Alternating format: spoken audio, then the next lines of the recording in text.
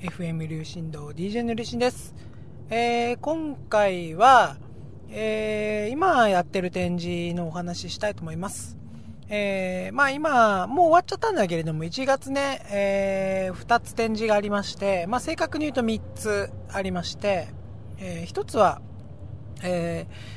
ー、500人展っていうね、えー、小作品展に出しました。1月3日まで。12月、えー、去年の12月29日から、えー今年の1月3日まで展示しておりました。えー人知れず展示しておりました。そして、えー1月16日から25日まで、えー横浜で、500人展も横浜だったんですけれども、えーまあ1月16日からは横浜のみなとみらいの緑のギャラリーっていうところがあるんですけれども、えーそこで T シャツのソリューション展っていうね、えー展覧会に、えー出展していました。で、えーもう一つ、えー1月13日から、えーまだ終わってないです。1月29日までやってるんですけれども、新春現代のエマ展、えー2011新年早々うさばらしっていうね、展示やってました。えーその中でね、特に今、えーお話ししたいのは、え去年もね、お話ししてたので、えその続きになるわけなんですけれども、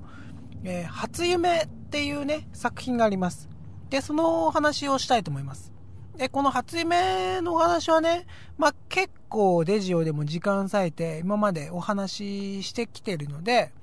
えー結論と言いますか、まあ、あの作品を作る経緯とかについての話でではなく、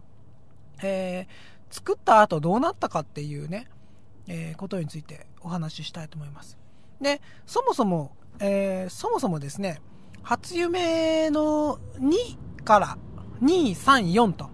えーデジオ的な要素を作品の中に入れてるんですね。で、これはかなり意識してやってて、実はその、今までいろいろな活動をしてきて思うのは、まあ常に思うことは、その時の、えー自分、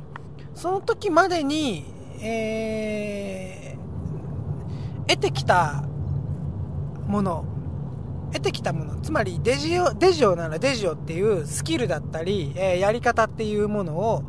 え何らかの形で、え表に出してみたいと。思う、思ったんですよ。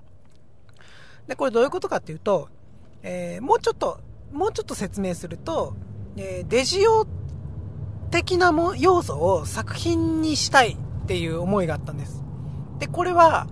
えー僕今まで映像を作ってきました。で、映像っていうのは、もう、お決まりの、えー僕の中の三大要素があるんです。映像三大要素。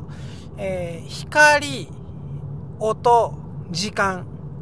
まあ、この順番は関係ないんですけれども、時間、光、音でもいいんだけれども、まあ、とにかくこの三つの要素、えー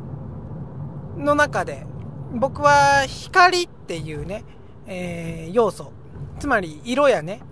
えー色ですね。えーで、この要素をあ割と重点的に、えー考えてました。で、時間っていうのはストーリーって考えてもいいんだけれども、まあ、それはね、えー解釈は置いといて。で、その中でね、音っていう要素が今まで自分の中で抜け落ちていたというか、僕がその音楽の知識がないっていうことや、えー作曲ができないと。作曲するスキルがない。また知識がないっていうことがあって、音に対する、まあ一種の、えー映像を作ってしまう時の不甲斐なさというかね、やりきれなさっていうのがいつもありました。で、この要素をどうやって補うかってことをずっと考えてたわけです。で、えーデジオ、えー僕の中で、えーずっとライフワークとして続けているデジオ。このデジオっていうものは、デジオそのものも、まあ僕の作品のうちの一つになるわけなんだけれども、そうではなくて、えーデジオで、えー鍛えてきたスキルをどう作品に活かすかということで、えーまあ今年ね、今年も、えーデジオ的なある要素っていうのを、え初夢4でやりました。で、えー今年はね、面白い結家になったんですけれども、それどう、それどういうことかっていうと、あの、僕のね、今までの初夢さんまでのお話、えー、は非常に真面目でした。非常に真面目。えー、まっすぐなね、感じだでした。で、それは僕自身の過去に問題があるんだけれども、まああんまりこの楽観視できるような、えー、過去、過去ではなかった。で、えー、なんだけれども、その自分の人生っていうのは、どんな人であれ、えー、どんな人生を歩んできた人であれ、やっぱり認めなくてはいけないっていう思いがあります。で、その、忘れてはいけないっていう思いももう一つはあります。それで、そういう思いが結構あって作りました。で、結構内容的には真面目にやってしまった。で、初夢4なんですけれども、うん。初夢4はね、それからだいぶ変わってね、非常に自分の過去を軽んじる。自分の過去を、うーん、大事にしない。大事にしないというよりは、えー、大事にしすぎないと言った方がいいのかな。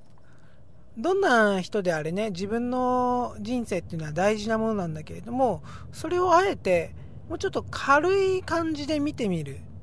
で、そういう軽い感じで見てみることによって、えー、誰にでもね、ある過去なんだよっていう、えー、それをね、特別に重たく思ったり、重たく考えたりするものではなく、まあ、誰にでもそういう過去ってあるんじゃないの？っていうようなね、感じで、えー、つまり青春っていうのは、まあ、僕の中学生時代はまだ青春来てないですけれども、まあ、まあいいです。青春っていうのは、きついもんだと。辛いもんだと。そういう要素が必ずあるものなんだっていうことです。で、そういうもんだよね。若い時って、みんな辛いよね、苦しいよね、なんか自分の思う通りにいかないよね、そういう感じで語れないかな、っていうことを考えてました。で、実際ね、作品、初夢4っていうのができたと思ったのは、あのー、非常に笑える内容なんです。非常に笑える内容なんです。で、この感じ、この雰囲気っていうのは僕僕にとってはすごく大事で、あのー、悲劇と喜劇っていうのがあるんだけれども、まあ、どちらにせよね、悲劇っていうのは喜劇の要素を持つし、喜劇っていうのは悲劇の要素を持つものなんだけれども、僕は、えー、あえて喜劇というものを作りたかった。で、それがね、うまく成功したかどうかっていうのは、見た人に委ねるしかないんだけれども、まあ、とにかく喜劇っていうのを作った。で、これが僕にとって今回すごく大事な点だったんです。はい。で、まあ、馬展っていうのをね、来年も再来年も続けていきたいなと思っているので、まあ、今年ね、見に来られなかった人も、もしよかったら見に来てください。では、失礼いたします。おやすみなさい。